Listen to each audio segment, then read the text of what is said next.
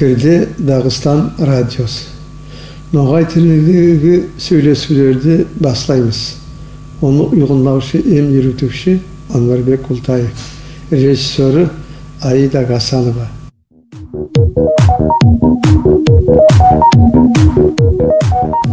соңғы хабарларды береміз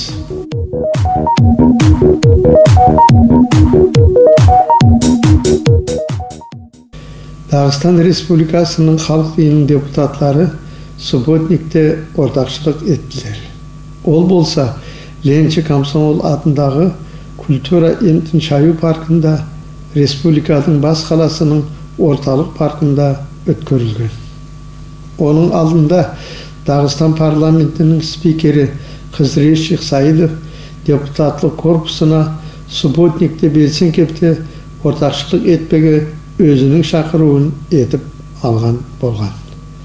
Оңайлық ету бойынша құллықтың яваплы участогында yoruklu келтіру бойынша шарады республиканың властының закон болдырушы органының бәрі құлдықшылары.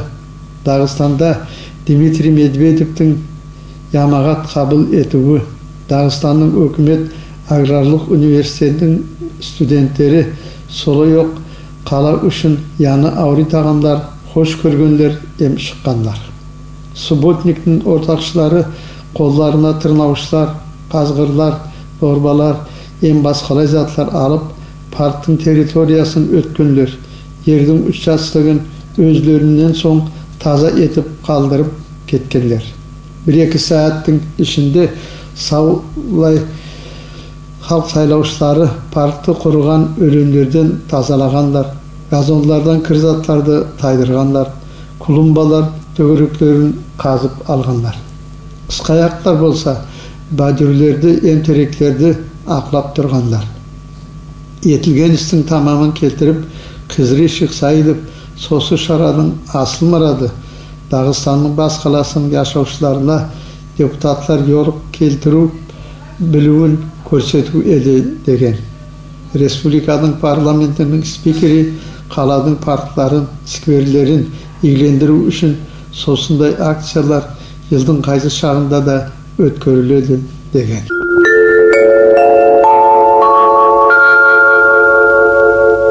дағыстан жерінде жаздықтың басталуын белгілей таған наурыз байрамының сыйына түрлі түрлі байрам шаралары ем концерт программалары болып өттілер. Былай айтқанда дағыстан жерінде айтадылар наурыз языческий байрам исламский туыл дейділер болса да халық пен жазықтың қыспан ауысуы келіп тұрғанша сосы дүния жерінде сүйдімлік болып тұраяғына ешбір шекте жоқ. Республикамыздың көптеген миллетлері сосы байрамды жаздық әкелу байрамы деп белгілейділер. Сосы күнге оңысты өстіріп айырым жосықты әзірлеу құллығы үйретіледі. Биыл да солай болды демеге керек.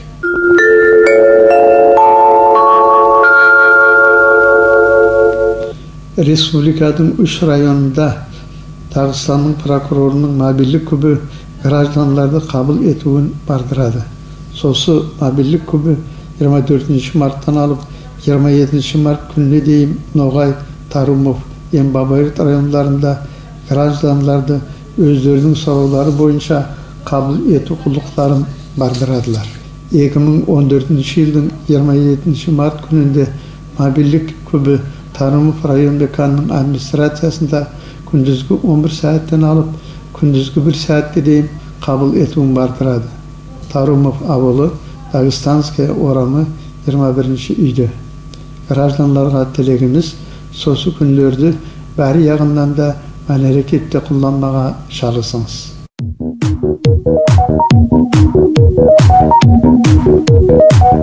біз соңғы хабарларды бердік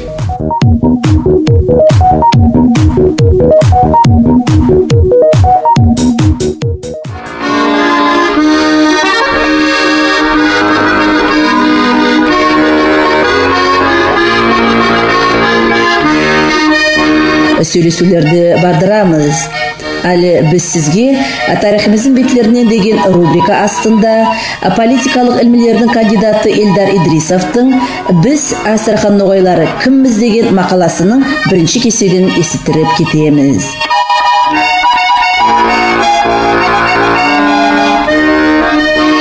Астрахан крайының халықлары арасында өзінің тарихлық бақты сыман өзлер ара юртовшыларға, қарағашыларға, құндыровшыларға, ем утарларға бөліні таған ноғайларды айырып айтпаға боламыз. Көпілеген себеплерден олар арасында аңлаулық тегіз кепте яйылмайды. Мысал үшін айтсақ, бірнеше көплер, юртшылар өзлерін ноғай татарлары деп санайдылар. Саулай алып қарағанда Астрахан областында 30 мыңнан артық ноғайлар яшайдылар соның үшін бүгін біз сізге қарағаш ноғайлары ақында олардың этникалық күплері ақында айтып озбаға деп тоқтасты.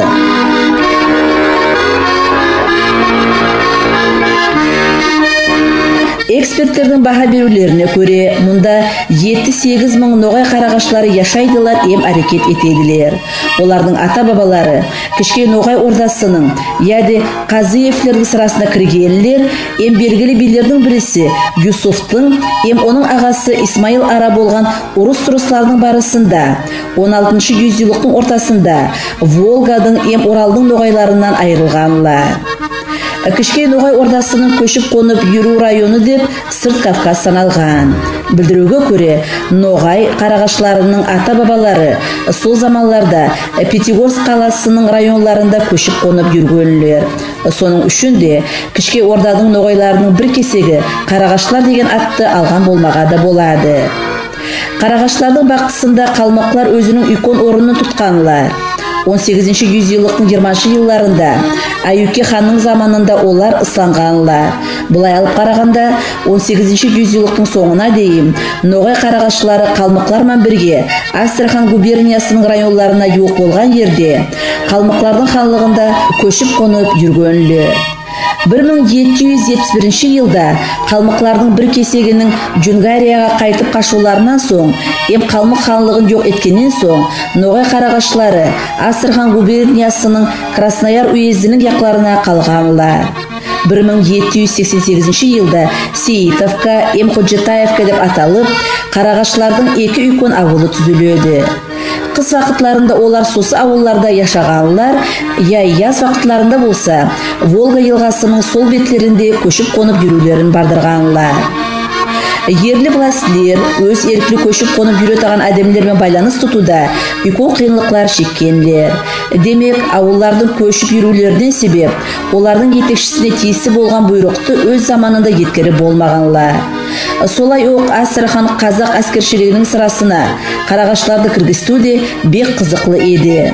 Оның ақында 1858 1859 жылдардағы архивлік документі аян шайтылайды әскершілік командованиесі составтың санын солай оқ ершілік фондын өстіру мұратпан сосы сорауды губернші властер алдында бірнеше кере салғанлар қарағашлардың ямағатының арасында бірлік болмаған. Соның үшін ерлі регионалдық властилер сосы еріс тұрыс әлді бек игі аңлағанлар имсаулай ямағатпан сосы қарарды қабыл етіп алмаға деп шақырғанлар. Болса да сосы сорау шешілмей қалған.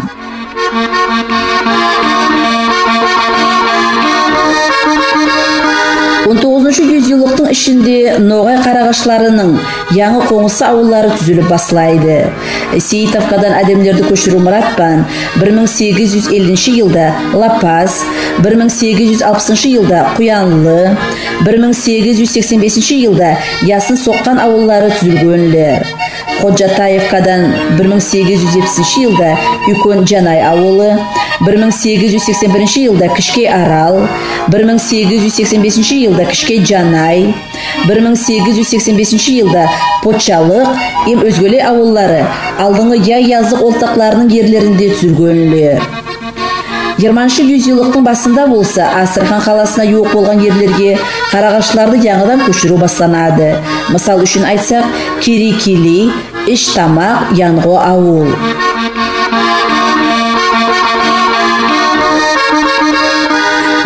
Алып қарағашылар малшылық өсірумен қаршы екенле малсыз күнім сансыз қарағашшылар қара туар эм қой маллар өстүргөнлөр эгинчиликке олар 19 жүздүүлүктүн соңунда көчүп баштаганлар онуман кызыл яр каласында жашаганлар эм игинчи ауылының жашаушылары кар чеккенлер бул жерде мынаудай затты да айтып озайык олар ерлерді тамғалармен айырғанлар.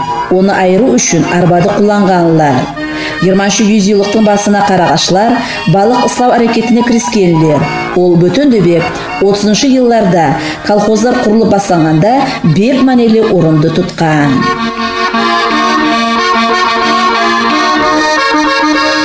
ноғай қарағашыларының ямағаты әдетінше тұқымларға бөлінгөнлер бұл жерде біз қарағашлардың белгілі деген төрт тұқымын ескермей болмаймыз оларда кім десеңіз найманлар асылар маңғытлар ем найманлардан айырылған төбетпес төбетпестілер бас деп айрым тұқымларға бөлінгөнлер сөйтіп ноғай қарағашларының тұқымына келесі болған сейітовкада жеті межігіт қожатаевкада сегіз межігітлер әрекет еткенлер солай оқ әр тұқымның өзінің тамғасы соғысық аты яда ясы үйкөллөр советі маслихатшысы болған. Алдыңғы ақтарушылардың белгілеулеріне көре ноғай қарағашыларының бір тұқымы да тиісті затлармен қанағатланмағандар ем тұқымлар ара еріс тұрыс болмағанлар.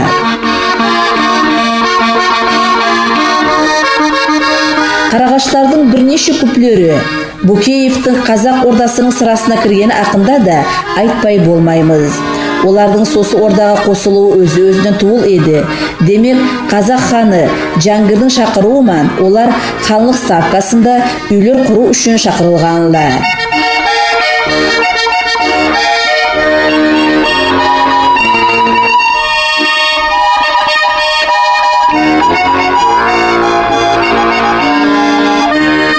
Ендігісі ноғай қарағашыларының той әдетлері ақында да айтып озайық олардың тойлары бірнеше түрлі әдеттермен өткөрүлгөнлөр онда үлкен орынды қыз айттыру әдеті яды оға басқаша айтқанда құда түсер той мал сояр олай дегеніміз тойға деп мал сою қыз той келін беттегі той солай оқ діншілік әдеті неке қию тұтқанлар той алдындағы ең игі бұрынғы әдетлердің бірісі деп айырым бөлмеге ер кісілердің жиылып масқара йырларын йырлауы яды құтлаулары саналады. Тойдың барысында бұрынғылар атшабыс ярысларында өткөргөнлер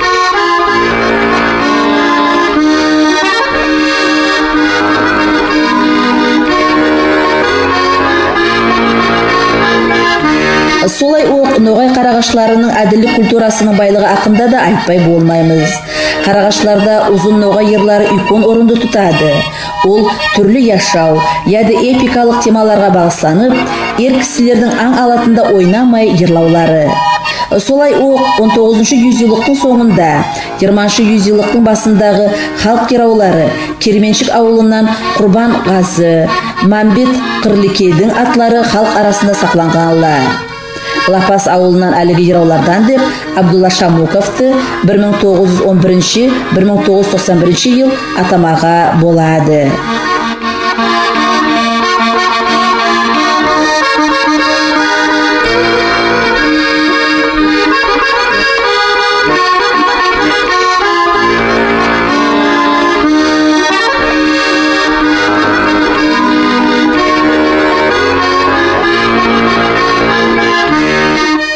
Сіз тарихымыздың беттеріне деген рубрика астында элдар идрисовтың астрхан ноғайлар ақында мақаласының бірінші кесегін тыңладыңыз.